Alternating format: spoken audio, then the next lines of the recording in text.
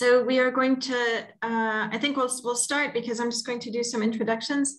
Uh, so hi, my name is Julia Steinberger. I'm uh, one of the academic co-directors of CLIMACT, which is uh, an existing now EPFL UNIL Joint Center on Climate Research and Action. And I just want to give uh, some uh, a minute or two for Nicolas Tétrault to just introduce himself um, because he's our new executive director and has started this summer. So go ahead, Nicolas. Thank you, Julia. Um, I'm Nicolas Tétrault, um, the executive director of Climact since uh, June 2021. I'm very excited to be here uh, for this new season of, of seminars. Uh, at Climact, uh, we've uh, we've started to uh, to work on on a lot of projects at the same time on education, entrepreneurship. we've just closed our first call for proposals as well. Things are going really well, so keep an eye on our um, on our webpage, which will evolve as well in the next few months, and and um, please register to our newsletter if you haven't done so to get the news. And you can uh, write to me at nicolas.tetro at climact.ch. So thanks, Nicolas.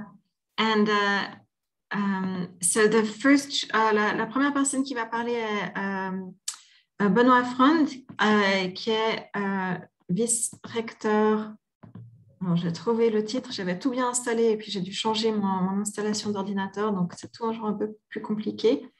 Euh, vice-recteur à la transition écologique et au campus, euh, qui pour euh, déjà depuis plusieurs années et sous le, rectorat précédent, rentre Marine. et il, est, il, a, une formation à l'Université de Lausanne en géoinformatique, en, en, géographie, et ensuite il a fait de la géoinformatique. Il a été responsable euh, comme directeur administratif dans le chargé des bâtiments sur le campus. Et euh, depuis plusieurs années déjà, il gère tout ce qui est euh, durabilité, y compris mener à ce que l'UNIL soit considéré première en, tête de classement par le VVF suisse et d'autres reconnaissances internationales, y compris euh, l'Association fêtière des universités et hautes écoles, euh, qui a créé un réseau durabilité des hautes écoles suisses, dont le président s'est confié à Benoît. Alors, Benoît, je te euh, laisse partager ton écran.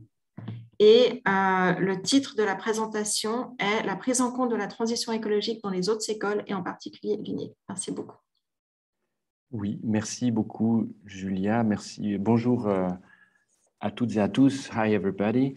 Euh, c'est évidemment un grand euh, plaisir, un honneur de, de commencer ce cycle de conférences, le deuxième cycle de conférences de, Climact, mais surtout quand, avec Climact qui vient d'être maintenant officiellement inauguré. alors, comme ça a été dit, je, je, veux vous parler un petit peu de la prise en compte de la transition écologique euh, et en particulier à l'UNIL. Je pense que je peux aller très vite sur les, euh, sur les éléments introductifs euh, et en particulier sur ce que nous savons. nous avons décidé d'essayer de, croire à ce que nous savons. Et nous savons que les températures en Suisse sont en, en, croissance permanente depuis 1864 euh, nous savons que la biodiversité est en chute libre. Euh, euh, ici, vous reconnaissez sans doute les, un, schéma que, l'IPBES publiait en, en, en 2019. et nous savons aussi que sur cette planète, les inégalités sont en croissance. depuis l'an dernier, plus de euh, de, de 45% euh, de la, euh, de, de, la fortune globale est entre les mains de 1,1% de la population mondiale, population adulte, et à l'inverse, le 55% de la population adulte se partage 1,3% des richesses du monde.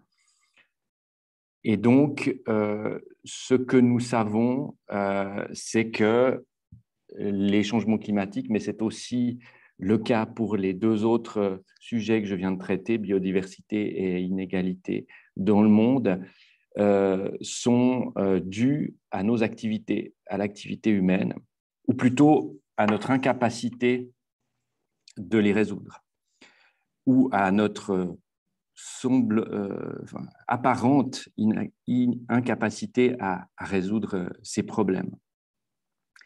Et la question que nous essayons de nous poser à l'université, c'est celle que Jean-Pierre Dupuis euh, euh, indiquait dans son, dans, son ouvrage de 2002. quand est-ce que nous allons enfin avoir le courage de croire à ce que nous savons et quand est-ce que nous allons enfin agir euh, pour changer cette, euh, cette situation? Et puis, euh, il nous semble que dans les universités en particulier, nous avons un rôle absolument central à jouer, un, rôle, un, rôle particulier, puisque c'est ce texte que je vous propose ici, qui date déjà de 2001 de, de et, et, et, consorts, euh, qui, nous disait que l'éducation supérieure joue un rôle absolument particulier dans le fait que, d'une part, il prépare les, professionnels euh, à, être, des, leaders, à être des, euh, des gens qui vont prendre des décisions pour l'ensemble des institutions et de, notre monde, que les universités sont, des institutions où on crée euh, de, la, connaissance, on crée des valeurs, euh, des valeurs morales autant que, que physiques. Euh, mais en plus de ça, dans les universités, on réunit une, une, population sur un même lieu, une, une population particulièrement éduquée, qui peut sur elle-même jouer à expérimenter euh, des modes de vie plus durables. Et donc, euh, il me semble, il nous semble que c'est euh, de la responsabilité des universités que de, d'essayer des, sur elles-mêmes des modes de vie plus durables, sans forcément avoir la prétention de, dire à la société ce qu'elle devrait faire, puisque ça, c'est le rôle des politiques et, de, et, des, populations elles-mêmes, mais de montrer que, au fond, d'autres choses sont possibles. Euh, à l'Université de Lausanne, nous avons décidé euh, de, et c'est la première chose que nous avons faite il y a une dizaine d'années quand je suis entré en fonction, c'est de, définir de quelle durabilité on veut parler. Alors, nous, critiquons euh, la notion de qui est euh, constitué de ces trois piliers que vous voyez, ou trois sphères que vous voyez ici, euh, la biosphère, l'économie ou l'éconosphère et la, et la société. Et euh, il, nous, il, nous, semble, pour la faire courte, que le développement durable, ça consiste à viser à l'intérieur de ces, de, de, de, ces, de ces de ces trois, trois sphères, c'est une toute petite cible difficilement euh, atteignable et surtout euh, qui présente le désavantage qu'au fond, euh, chacune de ces sphères peut évaluer, évoluer pardon, et, grossir indépendamment l'une de, l'autre, à condition qu'il y ait toujours un croisement entre elles. Nous préférons une conception de durabilité forte qui postule que la biosphère est une une entité euh, indépassable ou difficilement dépassable, à l'intérieur de laquelle euh, se développent des sociétés, à l'intérieur euh, de laquelle se, se, développe une économie. Et c'est ça qui nous paraît être la durabilité qu'il faut, qu'il faut soutenir. Et puis, ces derniers temps, dans nos réflexions, nous avons beaucoup réfléchi à qu'est-ce qui était, euh, euh, qu'est-ce qui, était nécessaire pour, que, pour obtenir cette, euh, cette durabilité. Et pour cela, nous, nous estimons qu'il faut, au fond, réaliser une transition qu'on appelle transition écologique. Et c'est la raison pour laquelle le, nouveau mandat que j'entame cette année, après deux autres mandats de, vice-recteur réalisés entre, entre 2011 et 2021, on va passer de durabilité à transition écologique. Et puis, l'autre élément important, c'est de, c'est de dire que nous voulons nous inspirer de ce schéma ici, que vous connaissez sans doute tous, qui est le, donut de Kate Raworth. Julia peut parler beaucoup mieux que moi d'ailleurs.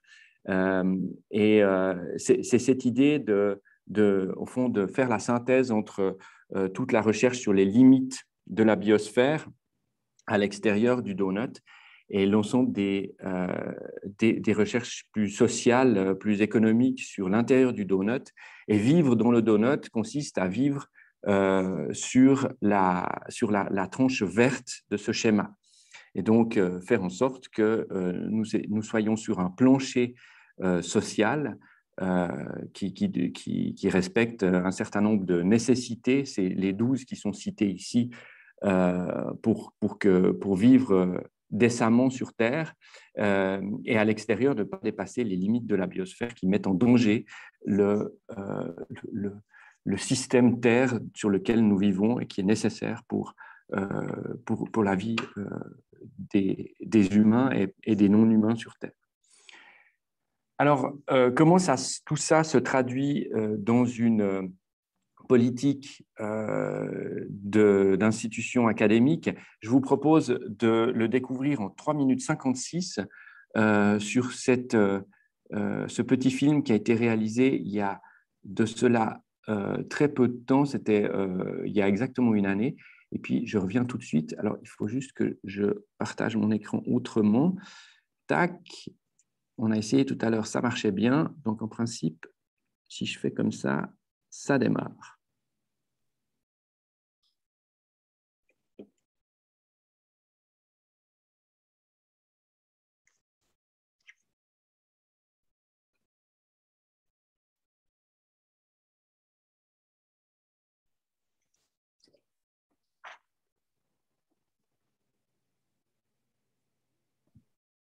On n'entend pas le son, Benoît. Est-ce que tu es en ah. mute ou est-ce que tu n'es pas en mute?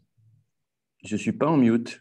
Ok, il faut certainement pas que tu sois en mute, mais autrement, on essaye. Je ne sais pas ce qui se passe, mais on n'entend pas de son.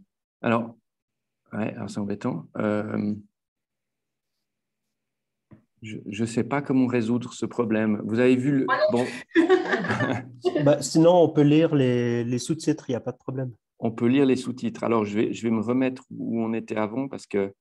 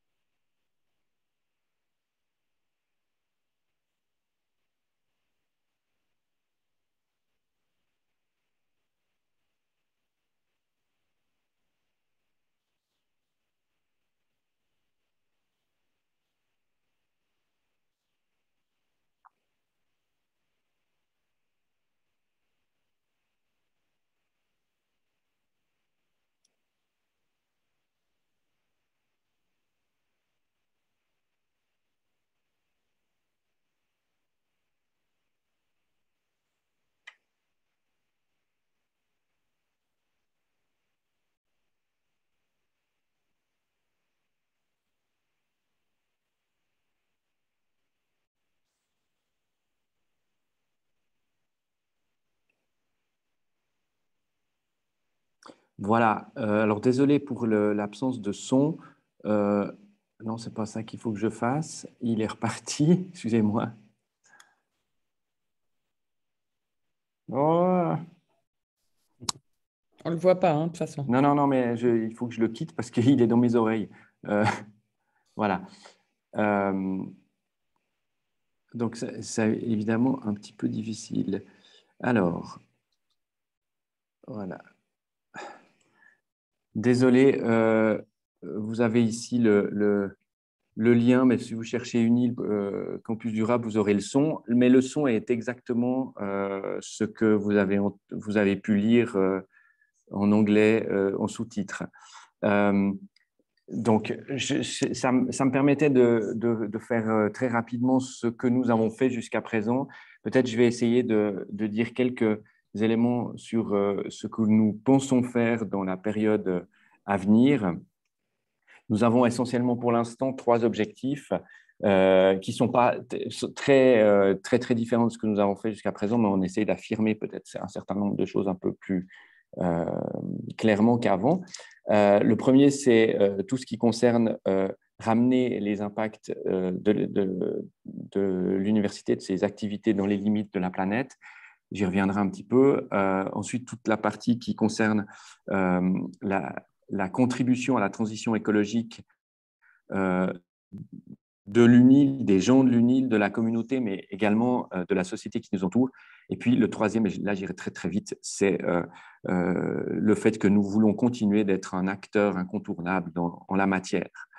Euh, si, je reprends en quelques mots ces trois objectifs, la partie de ramener les impacts de l'activité dans les limites, de, limites écologiques, pour nous, il s'agit essentiellement de contribuer à la décarbonisation euh, de la société, mais sans prétendre à la neutralité. Pourquoi? Parce que euh, il nous semble que euh, qu'il n'est pas, et ça c'est de nouveau en fait croire à ce que nous savons, il, serait, il serait faux de prétendre qu'on peut, en achetant des certificats carbone, en fait diminuer, faire disparaître les émissions de CO2 que, nous avons. Euh, en fait, ça ne marche pas comme ça, ça ne fonctionne pas avec des vases communicants. Euh, et en plus, c'est ça, c'est pas moi qui le dis, c'est la recherche en la matière qui le dit. Euh, et en plus, ça serait, ça serait, c'est faire beaucoup d'hypothèses assez discutables que de prétendre qu'une institution devient neutre en carbone. Par contre, nous avons des objectifs très ambitieux et très clairs pour réduire euh, notre production de CO2 et pour réduire notre consommation d'énergie. Alors, je ne vais pas rentrer dans les détails de, de, tout cela. C'est ce qui nous vaut le label que vous avez euh, en haut à droite du slide, qui est euh, le site à 2000 watts, parce que nous avons une stratégie très concrète qui consiste à réduire à l'horizon 2039 tout, cela.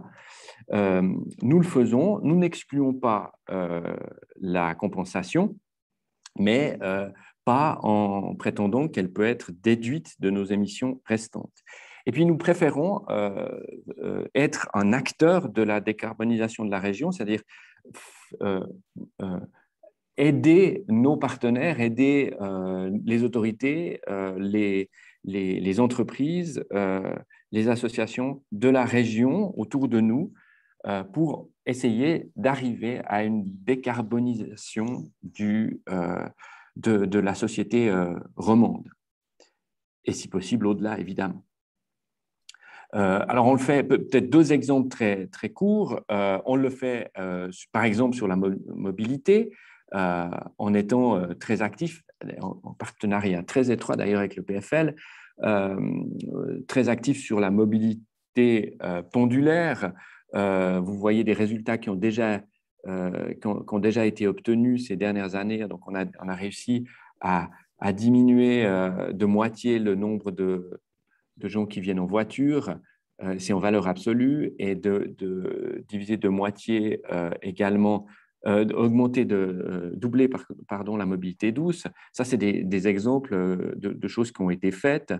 et puis, nous avons fixé des objectifs pour la fin du mandat euh, qui est de, réduire encore la part euh, de mobilité individuels à moins de 15% et à augmenter la, la, part des modes doux et de, de, garder stable la, partie transport public. Évidemment, l'utilisation de, des modes à distance, la visioconférence nous aide beaucoup pour ce genre de choses il y a tout un travail que nous devons faire en termes de mobilité professionnelle. Une seule chose à retenir ici, euh, c'est euh, que nous avons introduit depuis cette année euh, l'exclusion de l'utilisation de l'avion pour un rayon de plus de 6 heures réalisable en train. Et j'espère que l'année prochaine, on pourra augmenter le rayon à 2 heures de plus. Voilà, ça, c'est des, choses très concrètes. Une autre chose sur laquelle je reviens, euh, vous avez vu un petit peu dans le film, et ça, c'est typiquement euh, cette idée de, créer un levier. Nous avons euh, un portefeuille d'avoirs financiers que nous devons gérer à long terme, qui, qui doivent être disponibles pour les activités de l'université. Euh, et nous avons discuté avec euh, les personnes qui gèrent euh, cela, notre banquier, et au lieu de, nos banquiers, et au lieu de nous contenter de, sortir nos avoirs de l'exposition carbone et de faire ça un peu tout seul, on a réussi à, en allant peut-être en étant au début un tout petit peu moins ambitieux, à faire en sorte que la banque utilise notre charte d'investissement pour l'ensemble de ces avoirs sous gestion euh, euh, qui, sont, qui sont de, type euh, avoir public, c'est institutionnel, c'est-à-dire c'est des caisses de pension, etc. Donc le portefeuille est 20 fois supérieur à celui que nous avons sous gestion, et c'est tout ce portefeuille qui a été qui, a, été placé de manière plus responsable. Alors, ce n'est pas encore assez pour nous, mais on a emmené euh, beaucoup plus que euh, nous, seuls dans cette, euh, dans cette affaire, et c'est toujours cette volonté de, créer un levier. et puis la prochaine étape, c'est quelque chose sur laquelle les PFL est plus en avance que nous d'ailleurs, c'est la rédaction d'une stratégie de décarbonisation de l'Université de Lausanne qu'on appellera Plan Climat et qui sera participative. Euh, pour ce qui est de la contribution, c'est quelque chose que je pense que vous connaissez déjà en grande partie, puisque Nelly Niwa est venue présenter le centre qui s'appelle dorénavant Centre de compétences en durabilité, plus centre interdisciplinaire. Euh, c'est l'essentiel du travail de ce centre consiste à euh, à fédérer à peu près 400 chercheurs actifs sur des questions de durabilité au sein de l'université et d'être de, d'être en quelque sorte l'interface avec toute une série de partenaires, qu'ils soient d'ailleurs internes ou externes. Alors sur ce slide, il y a quelques projets euh, qui sont en cours avec euh, des chercheurs des sept facultés de l'Université de Lausanne, euh, et qui traitent de problématiques à cheval entre leur discipline et et, les questions de durabilité. Alors, je, prends par exemple un, seul exemple, euh, celui, ou peut-être deux, euh, celui du climat, euh, qui, il s'agit de, réaliser les plans climat du canton de Vaud, du Grand Genève ou de la ville de Lausanne. Et toute la question pour ces administrations, c'est comment on fait un, plan climat sérieux, c'est-à-dire un, plan climat qui respecte le donut que je vous ai présenté tout à l'heure. Euh, et le rôle du, CID et des euh, du, CCD pardon, et des chercheurs impliqués, c'est euh, d'accompagner ces administrations pour, pour calculer les, ce qu'on peut vraiment faire en termes, ou ce qu'on doit vraiment faire en termes de plan climat. pour, Genève, c'est purement et simplement fermer l'aéroport alors, ça, on voit que les choses sont euh, des fois assez, assez compliquées à réaliser, mais si on veut vivre dans le donut, si on veut croire à ce que nous savons, c'est de cela dont on parle. Et au fond, le rôle du centre de compétences en durabilité et peut-être de l'université, c'est justement d'insister sur, sur ce genre de choses. Euh, je vais passer très vite sur les, sur les autres euh, sur, les autres exemples, peut-être euh, juste, non, euh, juste un seul. Euh, nous allons, nous, allons travailler beaucoup sur les réseaux également. Julia a dit tout à l'heure que je, présidais maintenant un nouveau réseau qui s'appelle Sustainability at, Swiss Universities. C'est l'idée de, faire en sorte que toutes les universités suisses se mettent dans ce mouvement-là. Euh, et, ce réseau est actif depuis maintenant une petite année et il y a encore beaucoup de travail à faire pour que en l'ensemble des universités s'y mettent. Et puis peut-être juste un autre exemple de réseau sur lequel nous travaillons avec nos collègues euh, de l'Université Laval à Québec. Euh, c'est un, ça, parlera sans, doute à Nicolas. Euh, c'est un, nouveau, un nouveau réseau qui s'appelle UNIC et dont l'idée est de fédérer cette fois les étudiants comme des acteurs de changement et des acteurs de, de connaissances qui sont à la fois acteurs et citoyens de leur campus, mais aussi de leur, de leur communauté, de leur ville, euh, et faire en sorte que les euh, étudiants du, du, monde entier, des deux côtés, en tout cas les deux côtés de l'Atlantique, se parlent et euh, fédèrent leurs leurs compétences pour, pour, pour, travailler sur les questions de durabilité. Voilà, je crois que j'ai déjà dépassé le temps qui m'était accordé, donc je vais vous laisser la parole. Merci Benoît. Alors, euh, euh, j'ai juste laissé le temps pour une question parce qu'en effet, on arrive à la demi-heure. Donc, si quelqu'un a une question ou un commentaire sur, ton, sur ta... Alors, Nicolas. Oui, merci Benoît pour cette excellente euh, présentation. Et puis, on voit que l'UNIL a déjà fait énormément, entre autres sur le côté opérationnel et financier.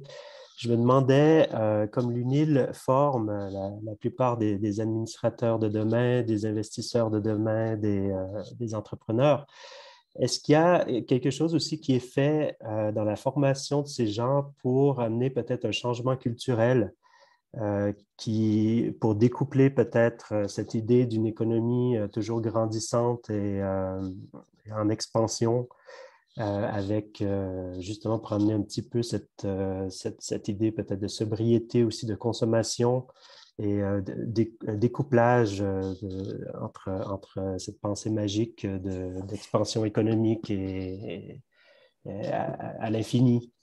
Est-ce qu'il y a quelque chose de ce côté? Oui, merci pour cette question. En, en effet, je, suis passé très vite. Alors, c'est euh, c'est un des chantiers auxquels s'attaque le décanat de, notre faculté des, HEC. Euh, c'est un décanat qui vient d'entrer en fonction et c'est une des priorités qu'il s'est fixée et qui est évidemment en phase avec la, direction, euh, avec les priorités que se fixe la direction de l'université. Donc oui, il y, a, un travail qui est, fait dans le domaine d'une part de la recherche, mais aussi de l'enseignement euh, de, l'économie. Euh, après, euh, tout ça est assez long, mais c'est des choses qui sont en train de bouger quand même. J'ai l'impression que ça fait dix ans que je secoue un, un, cocotier et là, tout à coup, il y a un truc qui est tombé. donc oui, c'est en train d'arriver.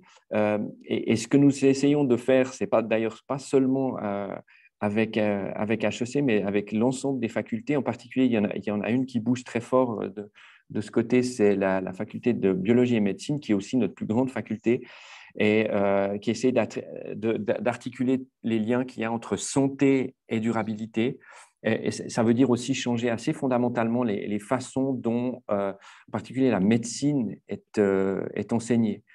en fait, on essaye de, développer cela dans, toutes les facultés. Alors évidemment, il y a des, facultés qui, sont, qui sont déjà à la pointe de ce côté-là. C'est le cas de, la FGSE, évidemment. Euh, mais, euh, mais il y en a d'autres qui sont en retard et c'est en train de bouger maintenant. On essaie de créer en fait un réseau et c'est un des rôles du, du, Centre de compétences en durabilité, un, réseau euh, des chercheurs qui travaillent sur ces questions, qui, qui, qui amènent cela dans leur enseignement, mais aussi des, des vice-doyens en charge de durabilité dans les facultés.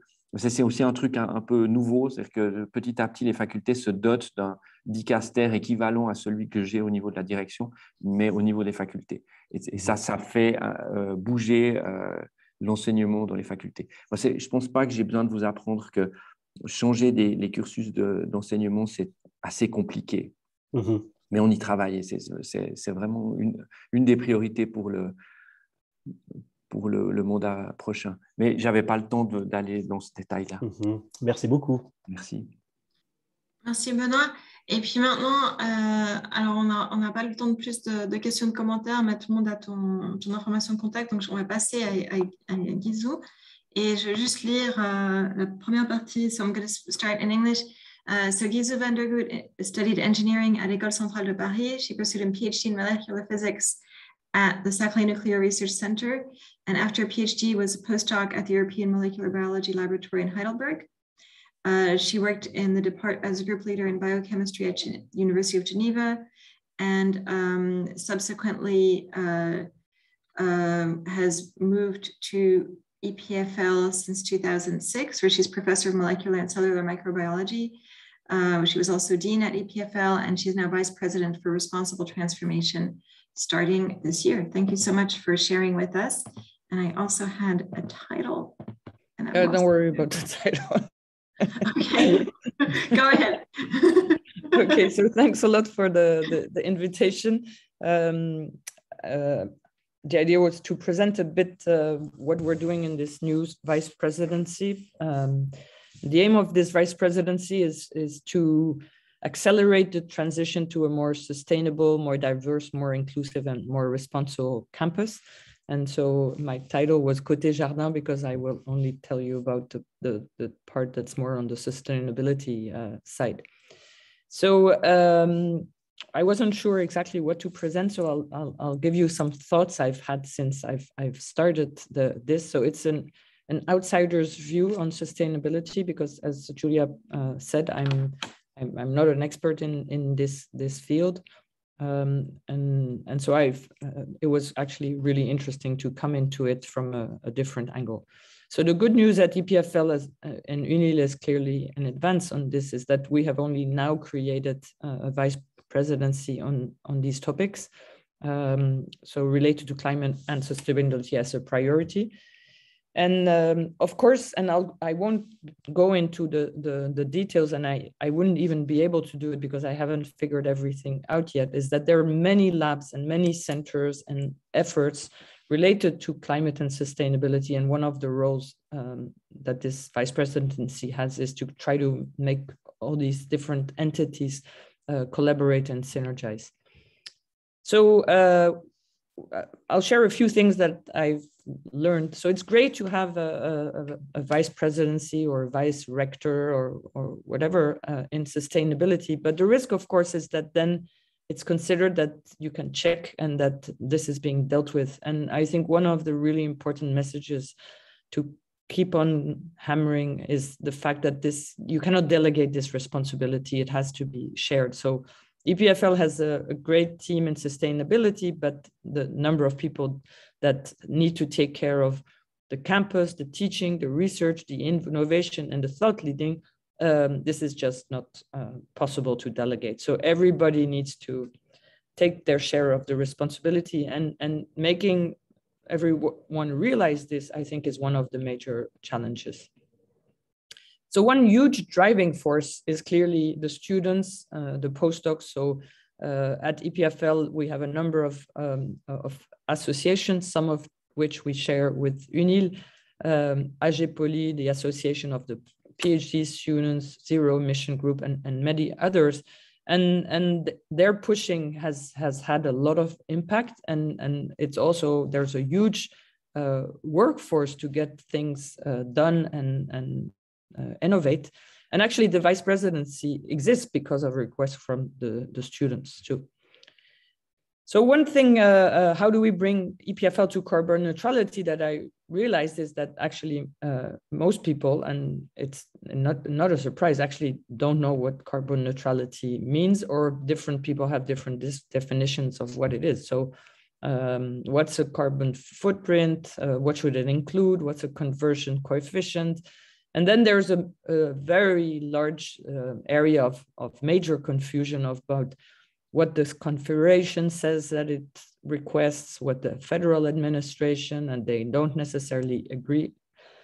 and so I think uh, so at UNIL, of course, you're you're lucky to have a, a, a geoscience uh, rector to whom you probably don't need to explain any of this. But uh, I think the, the leadership doesn't have the, the the background that's required and which is normal, but that we we need to explain a lot of things. Otherwise, there's no way of having infect, effective action.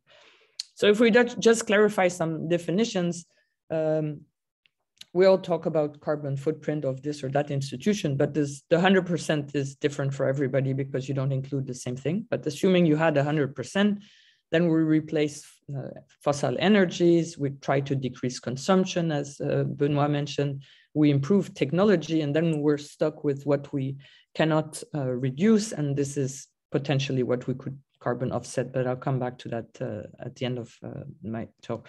But clearly what we should be worrying about is uh, negative emissions.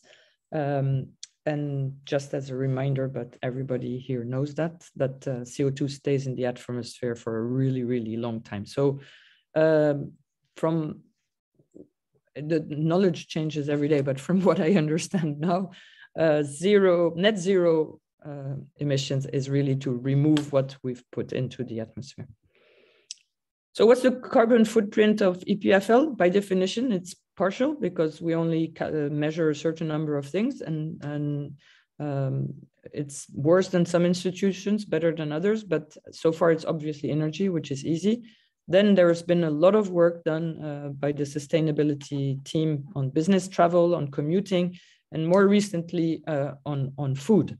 And if we take 2019 as a, as a reference, um, you see that energy is about half, 30% uh, for business travel, 10% for commuting, 16 for, for, for food. So uh, one question that I had to discover is how do you convert energy into CO2? And then confusion starts kicking in very drastically, uh, where you have different cities that have coefficients that are about 100 to 120. But then when you look at what um, in um, the institutions around us use as conversion factors, EPFL was seven, um, ETH nine. And what the Office fédéral dans l'environnement uh, suggests now we should use is 120.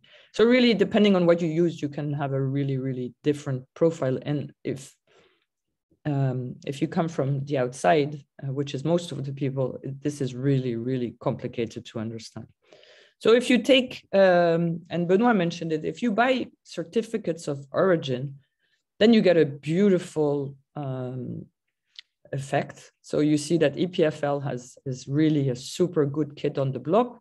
Goals are exceeded, life is wonderful, except uh, during that time, we've increased our consumption by 34% because EPFL has, has uh, had quite significant growth.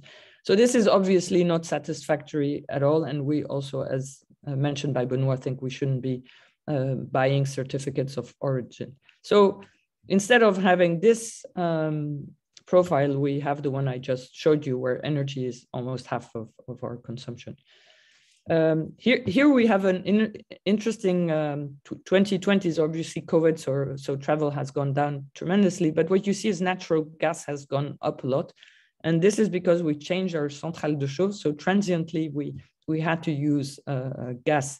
So Benoit mentioned uh, the, the, the use of the water from the lake, which is also what EPFL has been using. Um, which of course it's hard to get much much better than than that if we all had oil we would look and then go to this we look, would look great but this gives us an idea of what it would have been if uh, if we had used gas so what this graph also illustrates is that uh, more than 50% uh, of the CO2 current partial footprint of EPFL is due to the behavior of the people on, on campus. And so to reduce that part, uh, there's no other way than changing people's habits. So how do we reduce? Uh, we, we indeed had a task force and, uh, uh and particularly there was a group working on campus uh, actions and this, there was a a phase that was participative. It was during COVID, but it still brought uh, 700 people thinking about this. So things were um, chopped up into different groups. One is where we already know how much we're emitting and, and we can have targets of, of how to reduce, which are energy, business, travel, commuting, and food. And then there are a whole bunch of things that we actually don't really know how to measure yet, and we're, we're starting. One is to have in purchase, so appel d'offres, etc., to have really criteria of sustainability. Then I'll mention in a minute the Green Lab initiative is, is, is actually not research on, on what we research, but how we do research and how we can evaluate our footprint and how we can reduce it. Then uh, buildings, and uh, one where we've had also um, a, an initial study is what is the cost of IT. So EPFL um, is very active in digitalization and, and says everywhere it can how important it is. But this also comes with the responsibility of evaluating what the footprint of, of digitalization is. And then how we sensitize the community. And as uh, Benoit also mentioned, what kind of financial partners we have. So what's interesting with the new vice presidency that uh, brings together uh, both Bureau de l'égalité and sustainability is that he, we can really consider that the action plan in equality is, is part of the, the, the climate plan or the sustainability plan of EPFL since you often get to hear, oh, but this is not really sustainability. Uh, yes, humans are intrinsically part of sustainability and, and, and we have the opportunity to, to strengthen this. So I mentioned the Green Lab initiative. This is something I started when I was the Dean of the School of Life Science. And here again, we hugely benefited from the students from Zero Emission Group and with the training of Quantis, we started uh, trying to evaluate uh, what the carbon footprint is of a lab. So this is the one from my own lab, which is a biology lab with lots of plastic and, and uh, uh, throwing away stuff all the time. And what you can see is that at the single lab level, and uh, uh, travel is about 50%. So again, it emphasizes really uh, how important it is to reduce uh, travel. And uh, we're setting up a, a calculator with zero emission groups so that any lab that wants to get an estimate of their own carbon footprint can use it in a fairly easy way. So what other things we do? Uh, many of you have heard of Bruno Rossignol, who we hired two years ago, who's extremely active in, in, in changing the food habits and, and making really EPFL a, um, a kind of um, um, living lab. So for example, in, in, in the kitchens, they have cameras on the trash so they can try to see how much wasted food there is and also through the, the card system we can know how many vegetarian meals are taken etc so this will be a really interesting way of uh, analyzing the impact of what changes has has been changed and and how people adapt to this so then uh, as for unil um, a lot of promotion of bikes and public transport and now we're changing our travel policy to try to reduce um, professional uh, travel and also guidelines to incentivize people to travel uh, less. So then there's, of course, a whole part on energy. Um, we're, uh, as I mentioned, looking at what the, the, the, CO2 print is of labs, working on digital sobriety. And of course, we need to change on campus. So UNIL has a great green campus, but that's not the case for EPFL. A number of things have been done. I think the the in the 70s when they built the initial EPFL, they had they had lots of terraces with greenery, etc. So the initial job was pretty good, and there was natural cooling. This, of course, has disappeared a bit since, but there's a heating system I mentioned, and now with the joint UNIL EPFL data system that's going to heat the water, it's getting more interesting. So EPFL doesn't bloom like the center of uh, biodiversity when you walk through it, but actually pesticides and insecticides have been banned since 2002, and there is uh, um, biodiversity, but it has to be uh, mise en valeur. Uh, so the sustainability team was created uh, with the arrival of Philippe Volichard, who took who retired recently in 2010. At some point, the, the, the roofs of EPFL were the biggest solar park uh, in, in Switzerland. And we've had this um, uh, strong effort on, on, on following um, uh, mobility habits and creating um, point vélo so that people can get their bike repaired uh, without much cost. Um, and 50 trees is a start. It, we can have, we have space for 5,000, so but we had to start somewhere. And so the idea is to change this very mineral campus into something that would look much more fun. So these are dreams, of course, at this stage. But uh, we've been able to convince the direction to approve that we will um, go towards a campus piéton with, with some uh, streets that will no longer be used by cars, but that will become more, more green. Of course, this is not uh, enough. We need to, one of our major roles is actually to prepare the 2000 engineers that get their degree every year at EPFL to, uh, to be uh, prepared, understand the socio-ecological challenges that we face.